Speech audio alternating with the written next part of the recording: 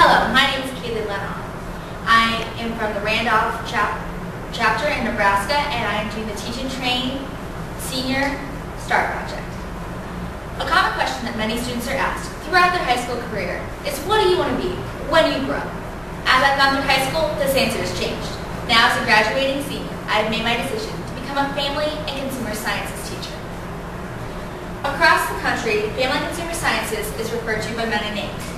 In Nebraska, where I come from, we refer to it as FCS, which is how it will be abbreviated in this presentation. When it first came time to decide what FCCLA STAR project to do this year, my choice became quite simple when I heard about the Teach and Train STAR project.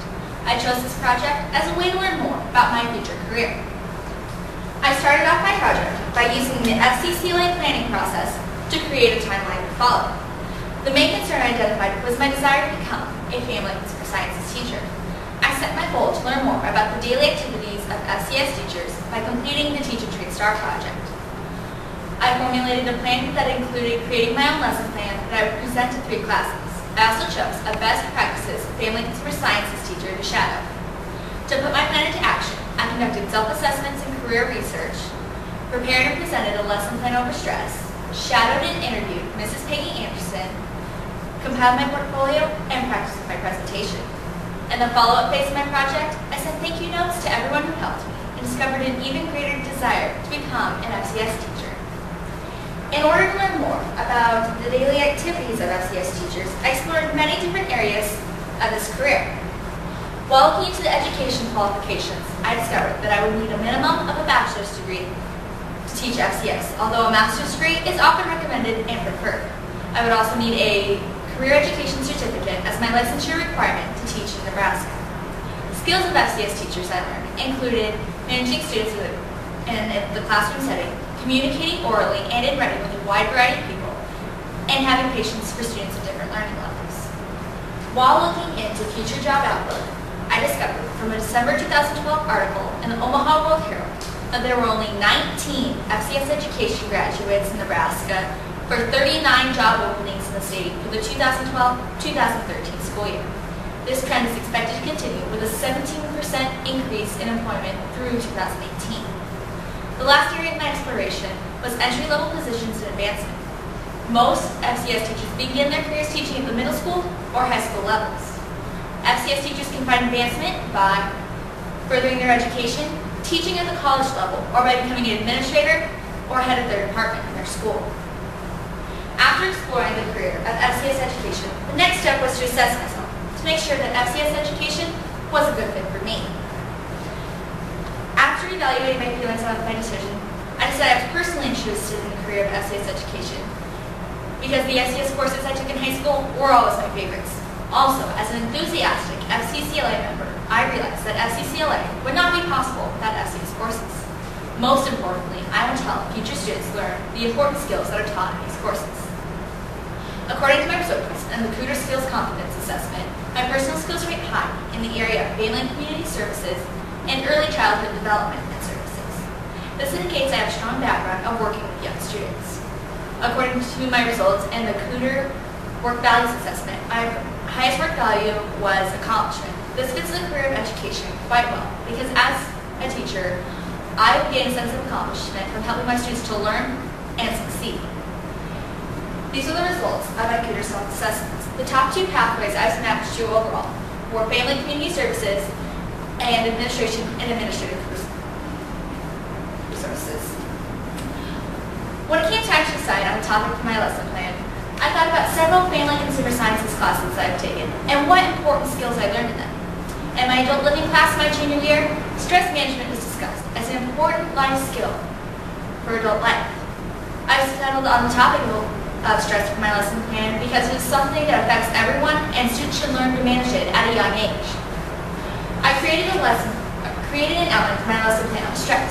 The main objectives were for students to identify the different types of stress and comprehend how stress affects them. I addressed National FCS Standard 1.1 in my lesson plan. Students learn to manage multiple responsibilities while maintaining a healthy stress level.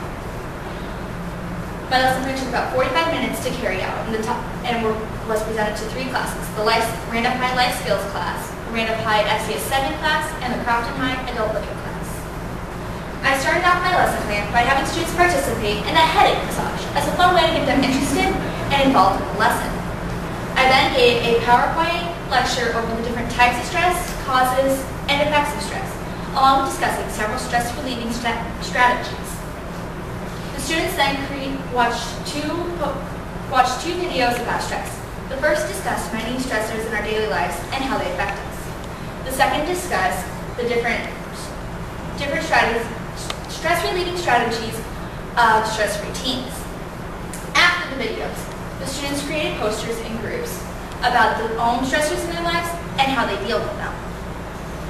While the students were working on the posters, I went around to each of the groups with the iPad explaining to them a variety of stress-relieving apps that were found on the iPad. These were all downloaded for free from the iTunes store and where the students would be able to download onto their own electronic devices at home. Once the posters were completed, each group presented their poster to the rest of the class. Following the presentation of the posters, the students completed a short quiz over stress, over information that was completed in the PowerPoint and in the videos. Once the I concluded the lesson by having the students complete evaluation forms as a fun way for me to realize different areas where I can improve as a teacher to better reach my message to the students. In the case of extra time, I prepared stress journals for the students to use to record and analyze different stressful events in their lives, along with listing their favorite stress relievers. All students were rewarded at the end of the lesson with a small square of bubble wrap as a fun way to relieve their stress. Shadowed Mrs. Peggy Anderson on January 4, 2013. During my day with Mrs. Anderson, I observed how she worked throughout the day. Her base knowledge of FCS courses made me realize how important the FCS courses that I am taking in high school truly are. She also gave me the advice during my interview with her to love what I teach and enjoy the students. I observed many traits of best practices teacher during my time with Mrs. Anderson, including keeping old lesson plans for future use, establishing a standard of respect in the classroom, and showing compassion for the students. Here are pictures from my presentations with the three classes, the Life Skills class, the FCS 7 class, and the Adult Living class. These are also the posters that were created by the students in the three classes. Also shown here is one of the full-scale examples created by the students.